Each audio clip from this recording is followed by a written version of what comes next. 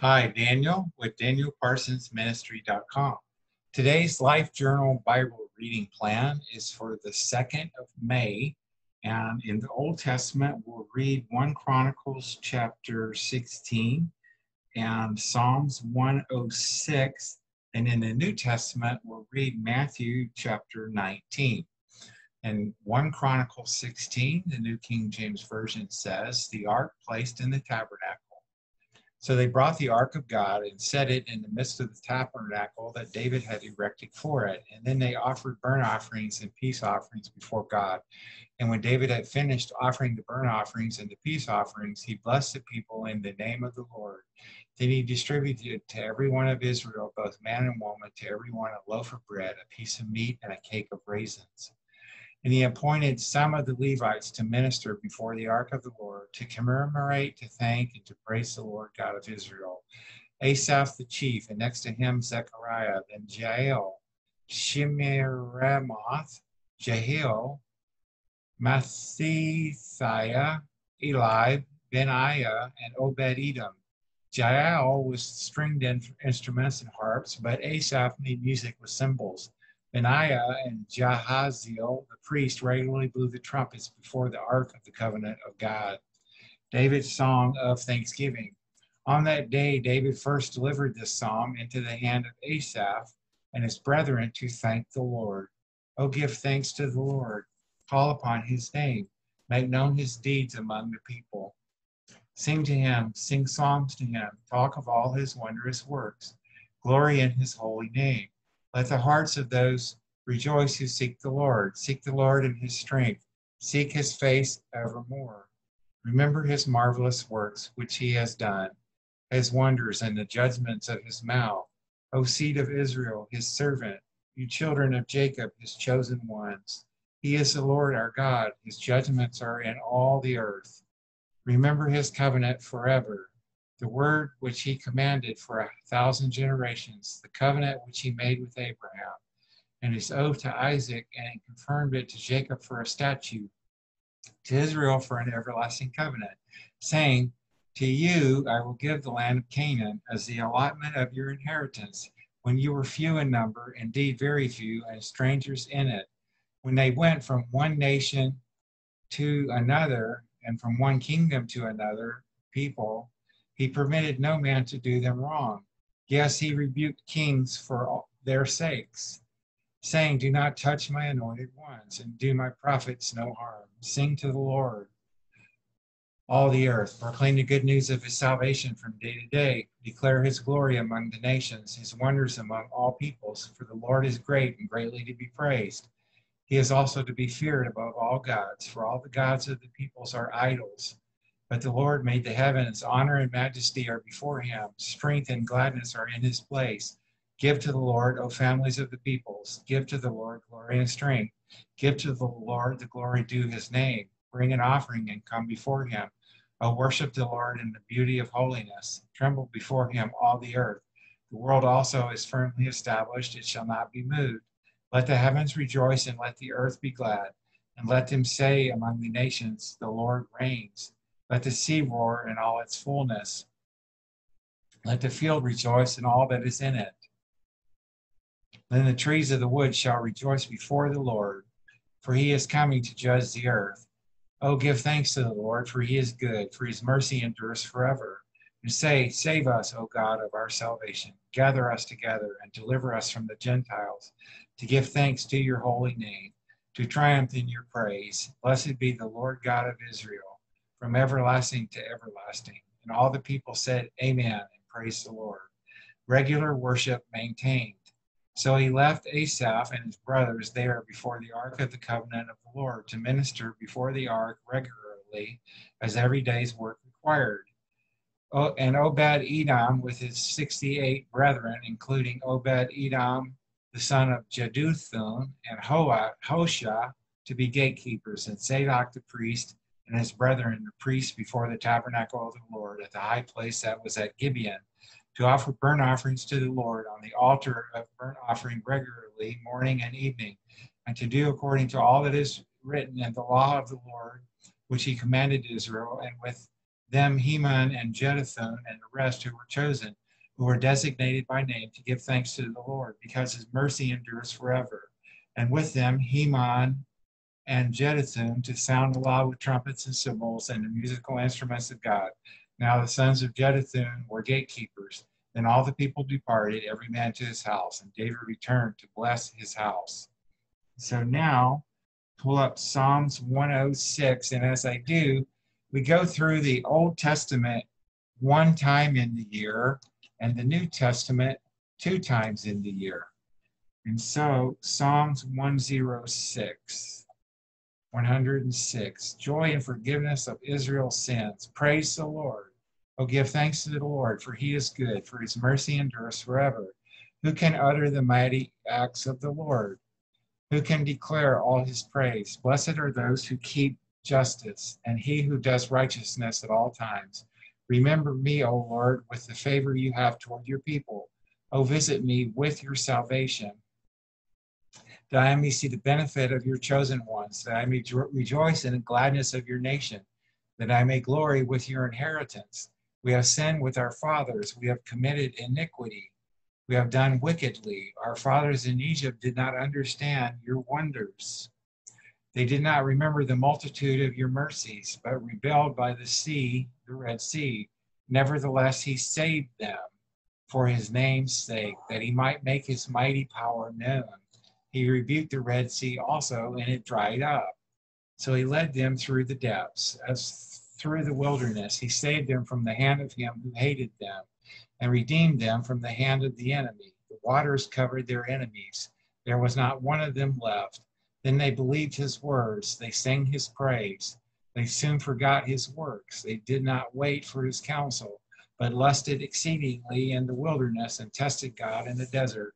And he gave them their requests, but sent leanness into their soul. When they envied Moses in the camp and Aaron, the saint of the Lord, the earth opened up and swallowed Dathan and covered the faction of uh, Abiram. A fire was kindled in their company the flame burned up the wicked. They made a calf in Horeb and worshiped the molded image. Thus they changed their glory into the image of an ox that eats grass. They forgot God, their Savior, who had done great things in Egypt, wondrous works in the land of Ham, awesome things by the Red Sea.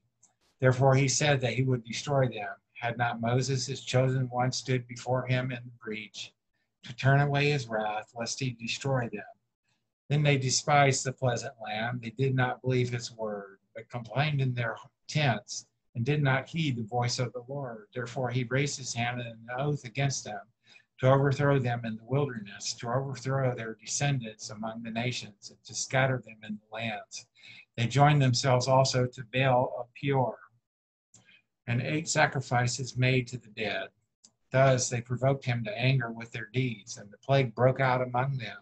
Then Phinehas stood up and intervened, and the plague was stopped. And that was accounted to him for righteousness to all generations forevermore. They angered him also at the waters of strife, so that it went ill with Moses on account of them, because they rebelled against his spirit, so that he spoke rashly with his lips. They did not destroy the peoples concerning whom the Lord had commanded them, but they mingled with the Gentiles and learned their works.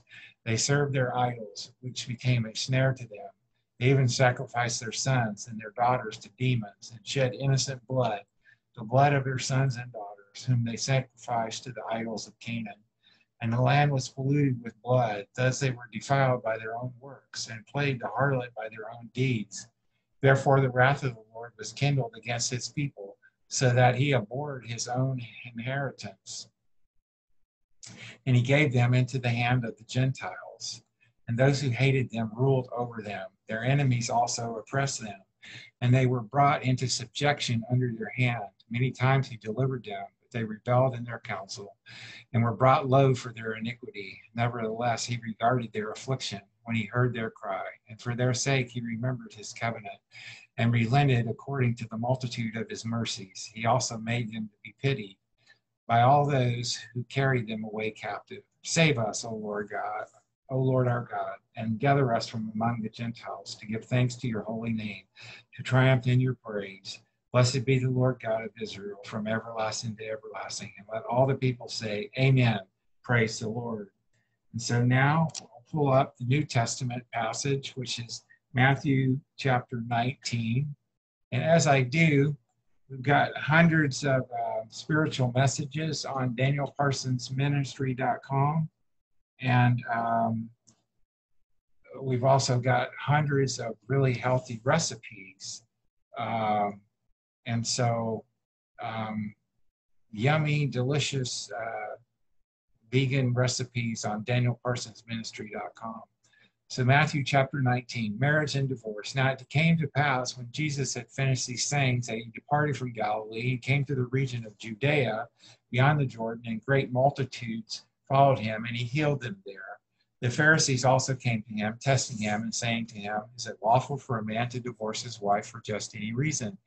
And he answered and said to them, Have you not read that he who made them at the beginning made them male and female, and said, For this reason a man shall leave his father and mother and be joined to his wife, and two shall become one flesh. So then, they are no longer two, but one flesh. Therefore, what God has joined together, let not man separate. They said to him, Why then did Moses command to give a certificate of divorce and to put her away? He said to them, Moses, because of the hardness of your hearts, permitted you to divorce your wives, but from the beginning it was not so. And I say to you, whoever divorces his wife except for sexual immorality and marries another commits adultery, and whoever marries her who is divorced commits adultery. His disciples said to him, If such is the case of the man with his wife, it is better not to marry. Jesus teaches on celibacy, but he said to them, All cannot accept this saying, but only those to whom it has been given. For there are eunuchs who were born thus from their mother's womb, and there are eunuchs who were made eunuchs by men, and there are eunuchs who have made themselves eunuchs for the kingdom of heaven's sake. He who is able to accept it, let him accept it. Jesus blesses little children. Then little children were brought to him that he might put his hands on them and pray, but the disciples rebuked them. Jesus said, Let the little children come to me, and do not forbid them, for of such is the kingdom of heaven. And he laid his hands on them and departed from there. Jesus counsels the rich young ruler. Now behold, one came and said to him, Good teacher, what good thing shall I do that I may have eternal life? So he said to him, Why do you call me good? No one is good but one, that is God. But if you want to enter into life, keep the commandments. He said to him, Which ones? Jesus said, You shall not murder, you shall not commit adultery, you shall not steal, you shall not bear false witness. Honor your father and your mother, and you shall love your neighbor as yourself. The young man said to him, All these things I have kept from my youth. What do I still lack? Jesus said to him, If you want to go be perfect, go sell what you have and give to the poor, and you will have treasure in heaven, and come follow me. But when the young man heard that saying, he went away sorrowful, for he had great possessions. With God, all things are possible. Then Jesus said to his disciples, Assuredly, I say to you that it is hard for a rich man to enter the kingdom of heaven. And again, I say to you, it is easier for a camel to go through the eye of a needle than for a rich man to enter the kingdom of God. When his disciples heard it, they were greatly astonished, saying, Who then can be saved? But Jesus looked at them and said to them, With man this is impossible, with God all things are possible. Then Peter answered and said to him, See, we have left all and followed you. Therefore, what shall we have? So Jesus said to them, Assuredly, I say to you that in the regeneration, when a Son of Man sits on the throne of his glory, you who have followed me will also sit on 12 thrones, judging the 12 tribes of Israel. And everyone who has left houses or brothers or sisters or father or mother or wife or children or lands for my name's sake shall receive a hundredfold, inherit and inherit eternal life. But many who are first will be last, and the last first. So that's the end of today's Bible reading, my friend. I hope to see you on the Life Journal plan tomorrow. Bye for now.